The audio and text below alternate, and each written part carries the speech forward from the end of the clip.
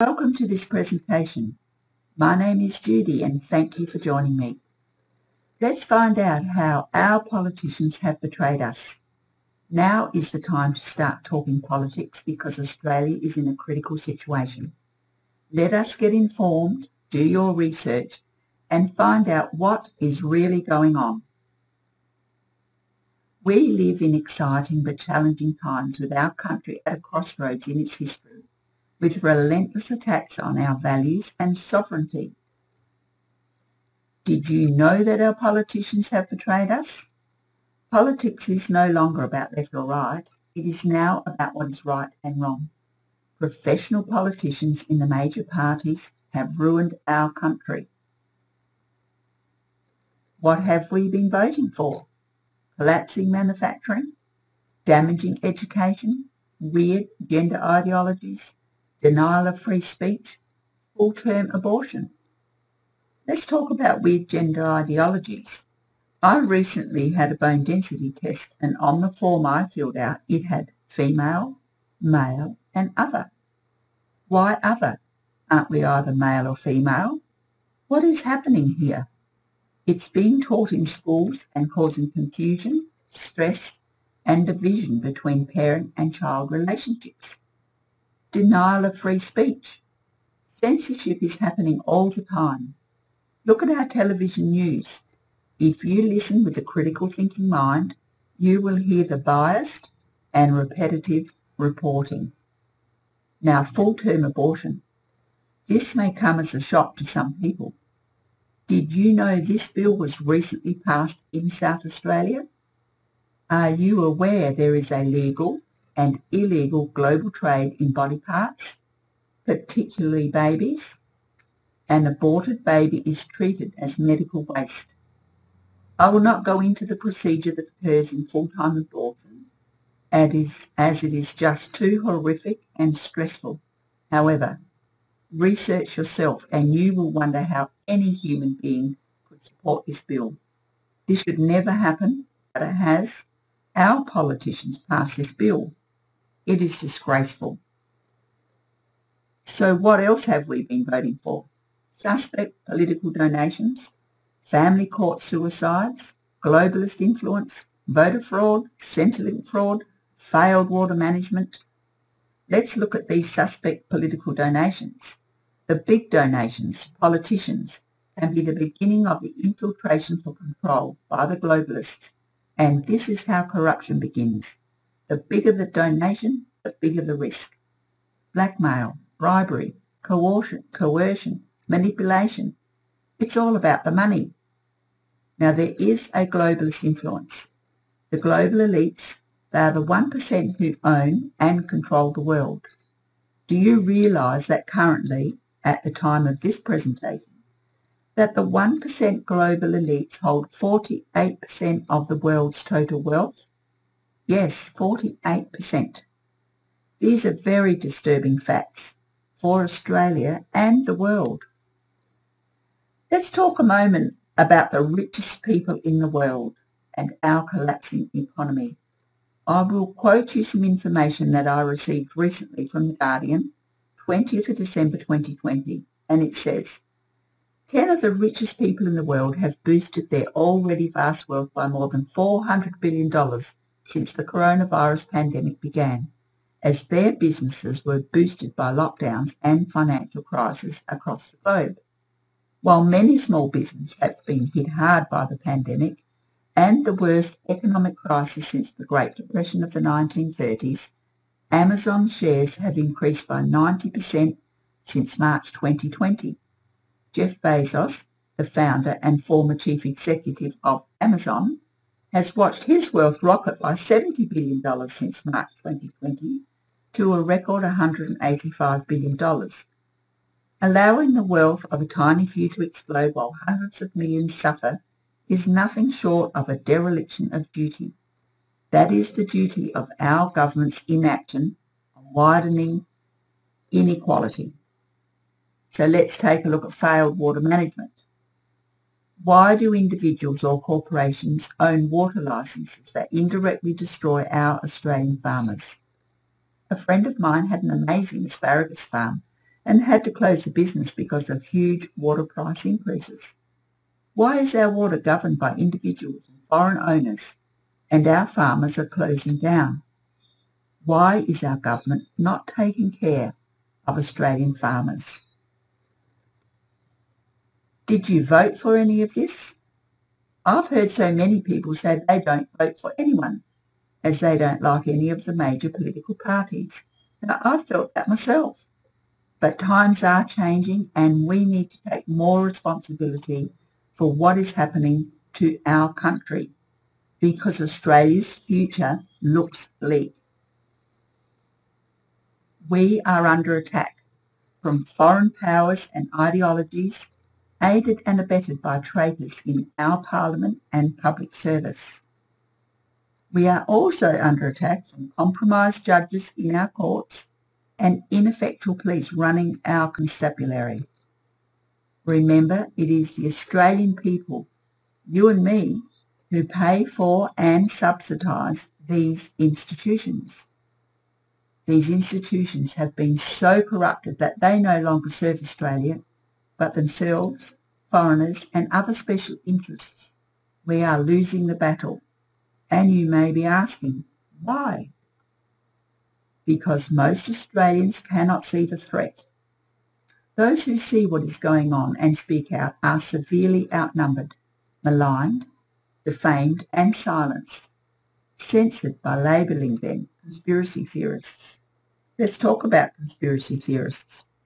Anything that goes against the mainstream media narrative, that is a globalist narrative, even by well-credentialed professionals, they are called conspiracy theorists. On the left it says, truth does not mind being questioned. A lie does not like being challenged. We must save Australia.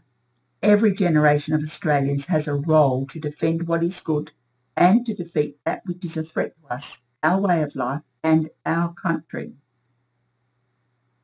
So you may be asking, how do we save Australia? So let me introduce to you Riccardo Bosi. He is a published author and speaker, international business consultant, former Australian Army Special Forces Lieutenant Colonel, and the creator of the new political party Australia One. Riccardo Bosi is one of a team of patriots who are creating a new political party for which they expect to attract membership and support for those quiet Australians, just like me, who no longer trust any of the major political parties. Now, I was very fortunate to meet Riccardo on the 10th of April when he did a presentation for Adelaide. He is strong and committed, dedicated and courageous, with a wealth of knowledge and expertise to bring accountability to the government and truth to the people of Australia. So how will Australia One save Australia? Ensure that Australians remain sovereign, self-reliant and an honest democracy, which is economically powerful and militarily intimidating, politically free, culturally vibrant and socially cohesive. We need to stop political corruption, take back our ports and farms, protect our free speech, ban 5G until proven safe. Now let's look at this political corruption because Australia One says our primary responsibility is to return the control of Australia to the Australian people. Now this statement by Australia One is huge so we need to take responsibility and become aware of what is happening to our country. Take back our ports and farms. How many times have we read that our farms are now foreign owned? Our port of Darwin has been leased to foreigners. Our industry, manufacturing and food is going overseas. Do we want to be a third world country? We are heading that way and fast we need to support affordable and reliable power generation, have stronger child protection laws, remove gender ideology from schools, and protect our vulnerable people. Now take a look at this child getting stronger child protection laws. Do you know about the 90-year suppression order? Senator Bill Heffernan produced a police document listing the names of 28 alleged VIP pedophiles, including prominent people, judges, and even a former Prime Minister. This list has been hidden from you, the Australian people, by a 90-year suppression order established by a previous Prime Minister. It's time to get it lifted. Why should they be above the law? On the link provided, you will hear Senator Bill Heffernan's address to the Senate committee and so much more. So please take a look at that video. Australia One is the only party I know that has taken a strong stand against the corruption of pedophilia.